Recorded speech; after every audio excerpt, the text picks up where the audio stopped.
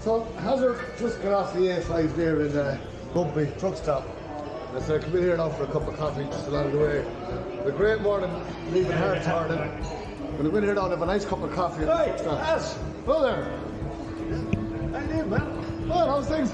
Good. That's, that's right. Dominic, is it? Dominic It's Dillon. Dominic, yeah. How you doing, Dominic?